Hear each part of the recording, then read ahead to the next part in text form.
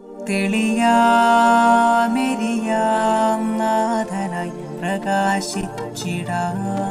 G M radio യുവയാത്രകരുടെ യാത്രയ്ക്ക് ഒരു വഴികാട്ടി. Good evening G M radio two point സീറോയിലേക്ക് സ്വാഗതം. എന്റെ പേര് പ്രിസ്കില്ല. ഞാൻ ഒരു കുഞ്ഞു കഥ പറയാൻ ആഗ്രഹിക്കുന്നു. ഒരു ഗ്രാമത്തിൽ ജാക്ക് എന്നും ലൂയിസ് എന്നും പേരുള്ള രണ്ട് കുട്ടികൾ ഉണ്ടായിരുന്നു. ജാക്കിന് ആറ് വയസ്സും ലൂയിസിന് പത്ത് വയസ്സുമായിരുന്നു ഉണ്ടായിരുന്നത്. രണ്ടുപേരും നല്ല കൂട്ടുകാരായിരുന്നു. കൂടുതൽ സമയം അവർ ഒരുമിച്ച് തന്നെയായിരുന്നു ചിലവഴിച്ചിരുന്നത്. ഒരു ദിവസം അവരാരും അറിയാതെ തങ്ങളുടെ ഗ്രാമത്തിൽ നിന്നും ദൂരെ ഒരു സ്ഥലത്തേക്ക് ഓടിപ്പോയി. അവിടെ അവർക്ക് വളരെയധികം ഇഷ്ടപ്പെട്ടു. അവർ രണ്ടുപേരും കുറേ നേരം അവിടെ ചിലവഴിച്ചു. അതിന്റെ ഇടയ്ക്ക് ലൂയിസ് അവിടെ ഒരു കിണറ്റിലേക്ക് വീണു. ലൂയിസ് കിണറ്റിലേക്ക് വീഴുന്ന കണ്ടിട്ട് ജാക്ക് ഓടി വന്നു. രണ്ടുപേരും കുറേ നേരം അലറി വിളിച്ചു. എന്നാൽ അവിടെ എങ്ങും ആരും തന്നെ ഉണ്ടായിരുന്നില്ല. പെട്ടെന്ന് ജാക്ക് ഒഴിഞ്ഞ ഒരു ബക്കറ്റ് കണ്ടു. ജാക്ക് ബക്കറ്റ് എടുത്ത് കിണറിന്റെ അടുത്തേക്ക് ഓടി വന്നു അത് കിണറ്റിലേക്ക് ഇട്ട് കൊടുത്തിട്ട് ലൂയിസിനോട് പറഞ്ഞു അതിൽ പിടിച്ച് മുകളിലോട്ട് കയറിക്കൊള്ളാൻ കുറേ നേരത്തെ പരിശ്രമത്തിനൊടുവിൽ ആ കൊച്ചുകുട്ടി ലൂയിസിനെ പുറത്തേക്ക് എത്തിച്ചു. രണ്ടുപേർക്കും വളരെയധികം സന്തോഷമായി. അവർക്ക് നടന്നു ഒന്നും വിശ്വസിക്കാനേ കഴിഞ്ഞില്ല. സന്തോഷം സഹിക്കാൻ വയ്യാതെ രണ്ടുപേരും പരസ്പരം വാരി പുണർന്നു അപ്പോഴാണ് അവർ വീട്ടുകാരെക്കുറിച്ച് ആലോചിച്ചത്. അങ്ങനെ വീട്ടിലെത്തി നടന്ന കാര്യങ്ങളെല്ലാം വീട്ടിലുള്ളവരോടും ഗ്രാമവാസികളോടും പറഞ്ഞു. അവർ ആരും തന്നെ അത് വിശ്വസിച്ചില്ല. പക്ഷേ ഒരാൾ മാത്രം അതെല്ലാം വിശ്വസിച്ചു.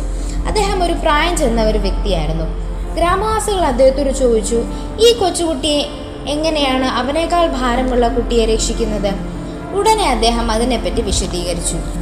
ലൂയിസ് കിണറ്റിലേക്ക് വീണപ്പോൾ അവിടെ മറ്റാരും തന്നെ ഉണ്ടായിരുന്നില്ല. തന്റെ കൂട്ടുകാരനെ എങ്ങനെയെങ്കിലും രക്ഷിക്കണമെന്നേ ജാക്കിന്റെ മനസ്സിലുണ്ടായിരുന്നുള്ളൂ. അതിനാൽ ആ ബക്കറ്റ് കിണറ്റിലേക്ക് ഇട്ട് കൊടുക്കുമ്പോൾ നിന്നെക്കൊണ്ട് അത് ചെയ്യാൻ പറ്റില്ല നീ കൊച്ചുകുട്ടിയാണ് എന്ന് പറയാൻ അവിടെ ആരും തന്നെ ഉണ്ടായിരുന്നില്ല.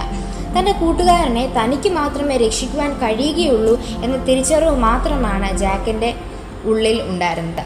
ആ തിരിച്ചറിവാണ് ലൂയിസിനെ രക്ഷിക്കാൻ ജാക്കിനായത്.